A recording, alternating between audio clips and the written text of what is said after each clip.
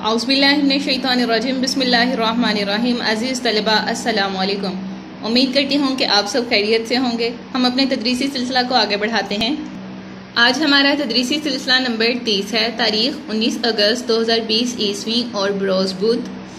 आज हमने पढ़ाई करनी है, सबक मिली वहदत की। निसफ पढ़ाई करेंगे, जिसके अल्फाज मायनी आप याद करेंगे इन अल्लाह पाक से दुआ है कि वो तालीम के सिलसिले में हमारे सीनों को खोल दे और हमारे लिए आसानियाँ पैदा फरमाए, आमीन।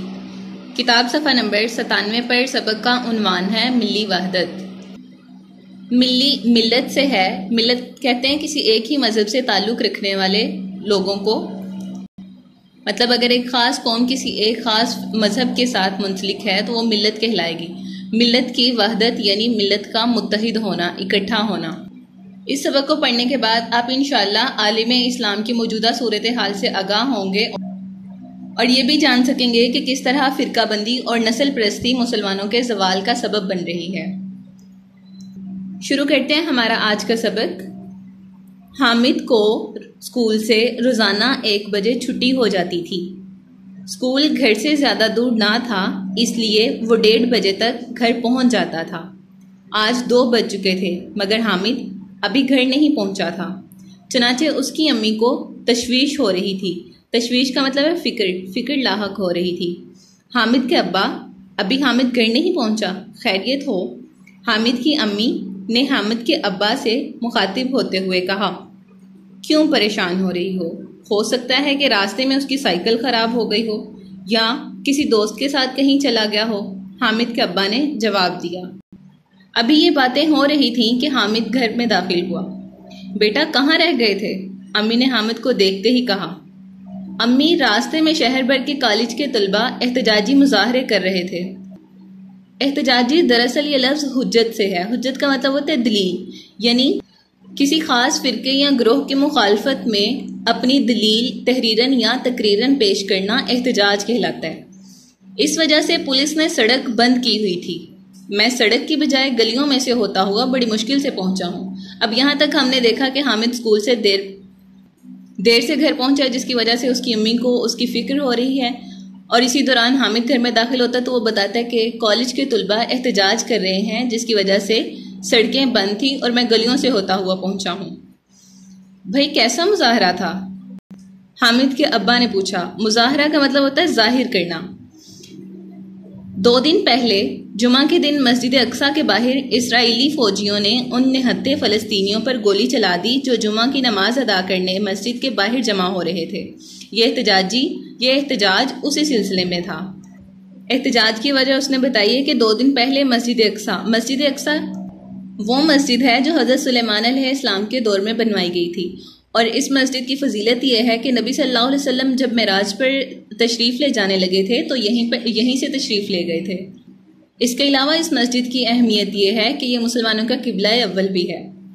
इसराइली फ़ौजियों ने उन नहत्ते फ़लस्तीनियों, फ़लस्तीन एक मुस्लिम मुल्क है जो कि आज़ाद नहीं है और इसराइल उस पर काबिज़ है। निहत्ते का मुराद है जिनके पास कोई भी हथियार ना हो। फ़लस्तीनियों पर गोली चला दी जो जुमा की नमाज़ अदा करने मस्जिद के बाहर जमा हो रहे थे। यानी फ़लस्तीनी मुसलमान जब मस्जिद अक्सा के बाहर नमाज़ अदा करने के लिए जमा हो रहे थे तो इसराइली फ़ौजियों ने उन पर गोली चला दी थी। हामिद ने जवाब दिया, हामिद, जल्दी से मुँह, हाथ धो लो और कपड़े तब्दील करके खाने की मेज़ पर आ जाओ, खाना तैयार है। अम्मी, मैं अभी आया। ये कहकर हामिद फ़ौरन अपने कमरे में चला गया।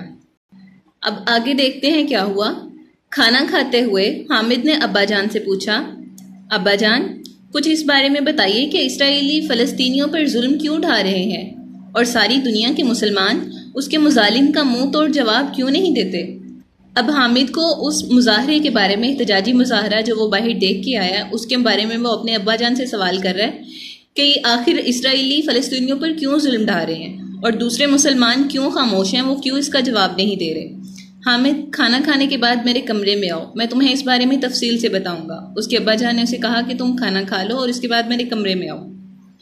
खाना ख़त्म करने के बाद हामिद अपने अब्बा जान के पास जाकर बैठ गया। हामिद के अब्बा कहने लगे, हामिद, दुनिया के जितने भी मुसलमान हैं, वो एक खुदा और एक रसूल सल्लल्लाहु अलैहि वसल्लम एक किताब और एक किबले को मानते हैं। अल्लाह ताला ने इनके बारे में इरशाद फरमाया है कि मुसलमान आपस में भाई भाई हैं। उन्हें चाहिए कि कुरान मजीद की तालीमत पर अमल करें और तफरकाबाजी से बचें। तफरकाबाजी कहते हैं ग्रोह बनाने को, यानी मुख्तलिफ़ ग्रोहों में ना बटें ख्वा वो मज़हब की बुनियाद पर हो, नस्ल की बुनियाद पर हो या ज़ात पात की बुनियाद पर। और यहाँ पर पूरी दुनिया के मुसलमानों के मतलब उनके अकायद के मतलब बताया गया है कि वो एक खुदा, एक रसूल, एक किताब और एक किबले को मानते हैं। तमाम दुनिया में जितने भी मुसलमान हैं, उन सबका उन सबका अकीदा, उन सबका ईमान एक ही है। हमारी इस्लामियत की किताब में ये लिखा हुआ है कि नबी अकरम सल्लल्लाहु अलैहि वसल्लम का इरशाद है कि उम्मत मुस्लिमा की मिसाल एक जिस्म की सी है। जिस्म के एक हिस्से में तकलीफ़ हो तो पूरा जिस्म बेचैन हो जाता है। हामिद ने कहा। हामिद ने अपनी इस्लामियत की किताब में पढ़ा हुआ था कि नबी सल्लल्लाहु अलैहि वसल्लम ने फरमाया, उम्मत मुस्लिमा, यानी मुसलमानों की जितनी भी उम्मत है, वो तमाम लोग एक जस्त की तरह हैं, एक जिस्म की तरह हैं। और जैसा कि जिस्म के किसी एक हिस्से में तकलीफ़ हो तो पूरा जिस्म बेचैन हो जाता है। इसी तरह, जब किसी एक मुसलमान को तकलीफ़ होती है तो पूरी उम्मत मुसलमान बेचैन हो जाती है।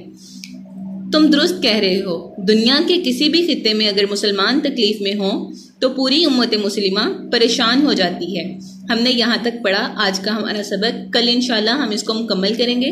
और हामिद ने जो सवाल किया कि इसराइली फ़लस्तीनियों पर क्यों जुल्म ढा रहे हैं, इस, ये सवाल भी, इसका जवाब हम इंशाल्लाह कल पढ़ेंगे इसी सबक में। मैं उम्मीद करती हूँ कि आज के सबक में जो भी मुश्किल अल्फाज थे, आप उनके मायने अच्छी तरह याद करेंगे और इसमें लिखी गई अहादीस को भी अच्छी तरह याद करेंगे इन जजाकल्ला अल्लाह हाफिज़।